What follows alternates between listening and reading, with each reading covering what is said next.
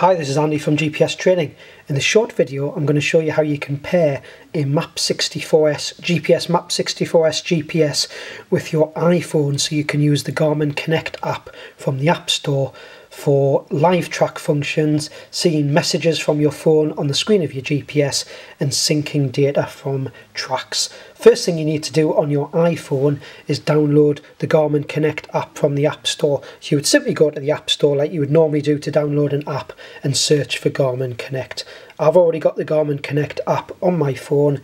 So just move in here, we can see it's the blue logo that says Garmin Connect where my thumb is now. That's the Garmin Connect logo. So I've already downloaded that from the Connect store onto the GPS first thing you need to do on your phone is make sure that your Bluetooth settings are turned on. So you go to the settings cogwheel icon of your iPhone touch on settings and then I was already on Bluetooth. So if you weren't on Bluetooth you just find your Bluetooth setting touch on Bluetooth and just swipe across to make sure Bluetooth is turned on if it wasn't turned on. We can then close the settings down on your iPhone and we go back to the Garmin Connect app. So I'm just swiping the screen till I get to the Garmin Connect app, open up the Connect app. I've already got a watch connected to the Connect app, but we're now going to connect the GPS device. So we select the option of more from the very bottom right. There's three little circles and the wording more. I'm just going to hide that message that's coming through. That was just my fitness watch syncing with the app. So I'm going to select more from the bottom right. And then one of the options on the screen, if you scroll up and down, is Garmin devices. So we're going to add a Garmin device to the app. So we select Garmin devices in the initial list that's displayed, it's showing you any devices I've got linked to my Garmin Connect account.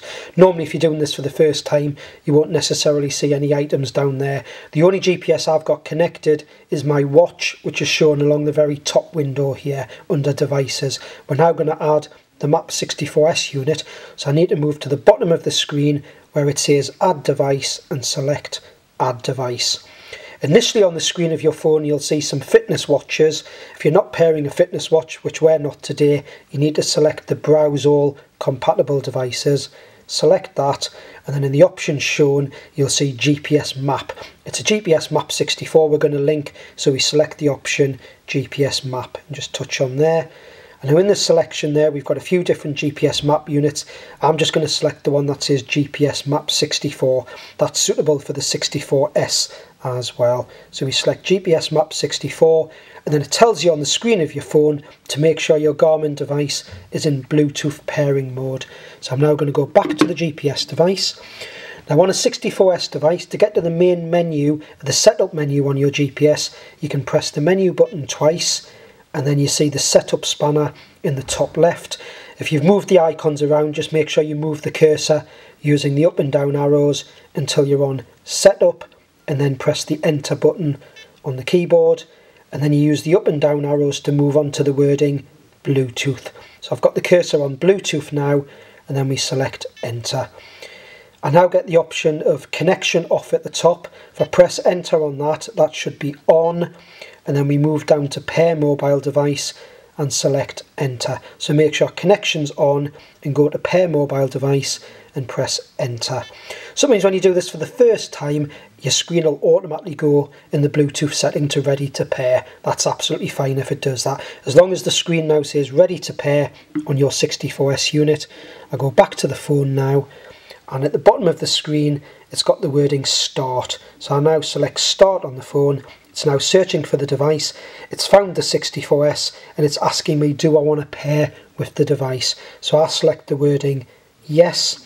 And then on the GPS, you'll see I've now got a pass key appear 014530. So what I need to do is type that in on the phone in the box. So 014530 and then just select pair and that should now pair with the 64S. It's now telling me that it's completing the setup on the device, so we've just got to wait until that finishes. There's a little blue bar going across the screen. Once that's finished, we can go back onto the GPS just to check that it's showing as connected. So we'll just wait until this is complete. It now says pairing complete, and I can just select the wording done on the phone. If I now go back to the GPS, on the GPS, I've got the connection on and where it says notifications hide that means you won't see any text messages coming through from your phone or anyone trying to get in touch with you calling you on the phone. So you can move the cursor onto notifications where it says hide. Press the enter button on your GPS and then you select that to show. So that you see notifications on your GPS. That's us done now on the GPS so I can just hit the quit button to come out of where we are just to get back to whatever page you want to use on the GPS. If I actually go back to the app now, on the app itself, if I go down to more at the bottom and scroll down till I see devices, Garmin devices and select Garmin devices, what I should see at the top now, I can see that my GPS map 64 is now connected at the top and ready to use with the app. So hope you found this video useful on how you connect your GPS Map 64 to the Garmin Connect app on an iPhone and thanks for watching.